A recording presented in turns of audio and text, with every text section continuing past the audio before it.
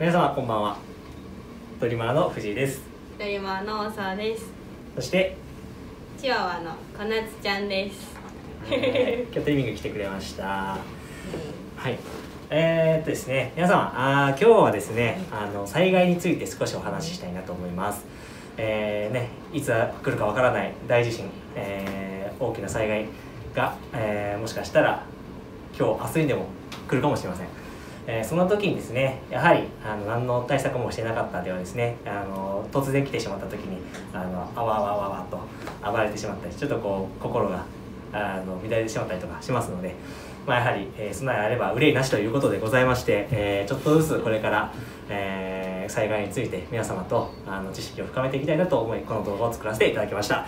はい、えーというわけで第1弾でございますけれどもあのねはい。これ何でしょうか大沢さんえーとクレートですか？はい。はい。正解でございます。そうです。あの今日はですねあの小夏ちゃんがですねはい。トリミングの時にいつも飼い主様があのこうやってクレートをですねあの持ってきてくれるわけなんですけれども、はい。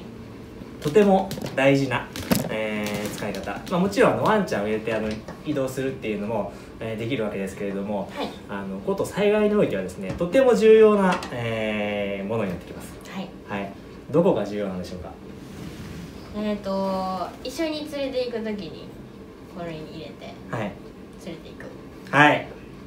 ね、もう僕が言ったことをそのままリピートしたわけですけれども、はいまさにその通りでございます。はい、一緒にまあ連れていくっていうことなんですよね。うん、で、えっ、とまあワンちゃんにとってはですね、すごくまああの災害時においても平常時においてもですね、はい。このクレートっていうのは何でしょう、えーまあ家なわけですよね。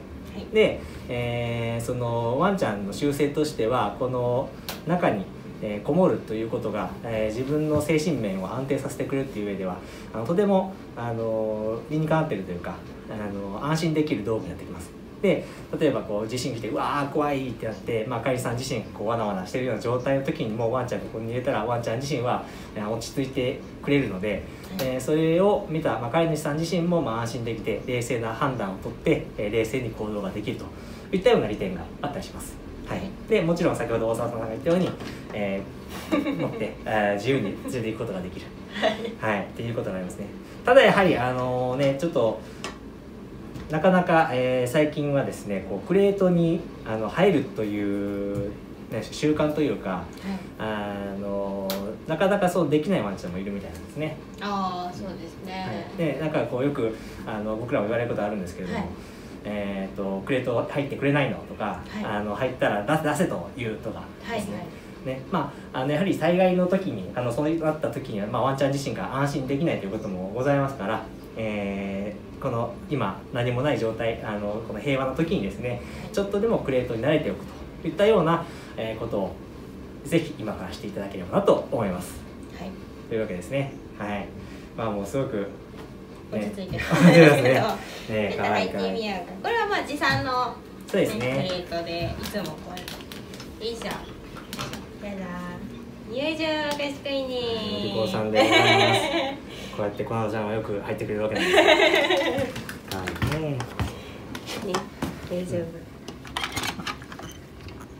はい、ね。ね、こんな感じで安心してくれるわけですから、はい。ぜひぜひちょっとクレートトレーニングっていうのもあのしていってもらえたらなと思います。はいはい、でちょっと今日はですね、まあ、なぜこんな話をしたのかと言いますと,、えっとまあ、災害について最近よく取り回らないでえー話すことが多いんですよ。でちょっとですね、まあ、あの飼い主様にもですね少し協力していただきたいことがございまして、えー普段僕たちあんまり何も言わなかったんですけれどもあのもしあのご自身のワンちゃんたちがトリミングに来た時にですね万が一大大地震が起きてしまったっていう時にですね、えー、とちょっとトリミング室の犬舎ってこの4箇所しかないんですよね。